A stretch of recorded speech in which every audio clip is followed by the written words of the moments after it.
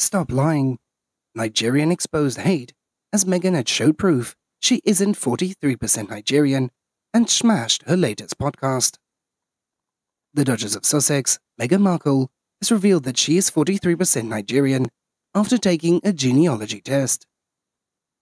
Markle had made this known in the latest episode of a podcast, Archetypes, where she expressed her desire to learn more about her roots, the Mirrors reported on Tuesday. As Markle discussed with American actress Issa Rae, a Nigerian American writer Ziwe Fumudoh, and Professor Emily Bernards. As the Duchess of Sussex had stated that she took a genealogy test which revealed that she is 43% Nigerian.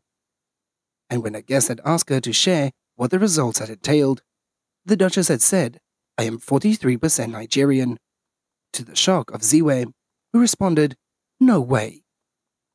As Ziwe further asked, Are you serious? This is huge. Igbo, Yoruba. Do you know? The Duchess of Sussex then answered, I am going to start to dig deeper into all of this, because anyone that I've told, especially Nigerian women, are just like what? Besides, Meghan Markle had made a thinly veiled threat to the royal family in her interview with a US magazine, The Cut, when she had revealed that she can say anything after stepping down from duties. But the Duchess of Sussex had appeared to U turn on that threat in her most recent interview with Variety magazine, when she had compared her life before and after.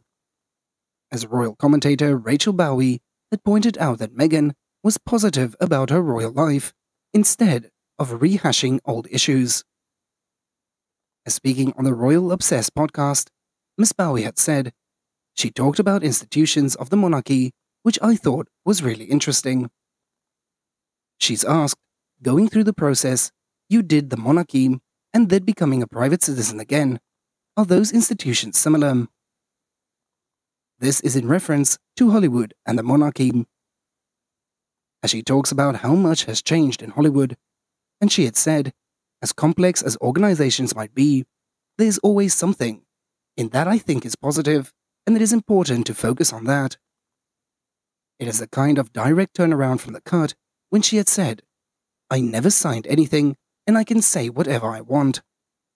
And now she is saying that there is always something that is positive, always coming to terms with what had happened, I think. I think a lot of criticism was that she was really dragging and rehashing old issues in every interview, and I felt like, here we go again, talking about how everything went wrong.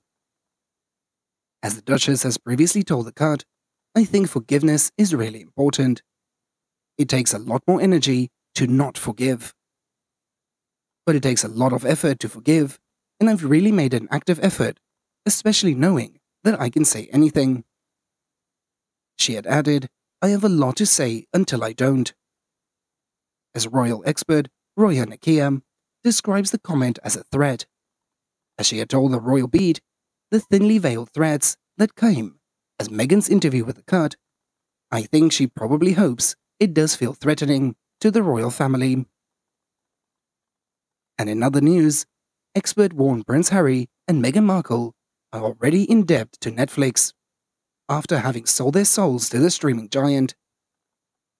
As these claims have been made by the royal commentator Kinsey Schofield in her interview with Express UK. As she had started off by claiming if the death of Diana is considered vulgar in The Crown, it most certainly could hurt Netflix's relationship with Harry and Meghan. However, they've cashed an incredibly large check from Netflix, so they might say that they've already sold their souls, so what can they do? As the Sussexes have to fulfill their contractual obligations before they can move on. As she has also offered a suggestion during the course of her chat and it added how I believe that Netflix will always choose The Crown over Harry and Meghan. It is highly celebrated scripted series that put Netflix on the map for original content. As this product was an award-winning game changer for the streaming giant, and Harry and Meghan have yet to prove themselves in Hollywood.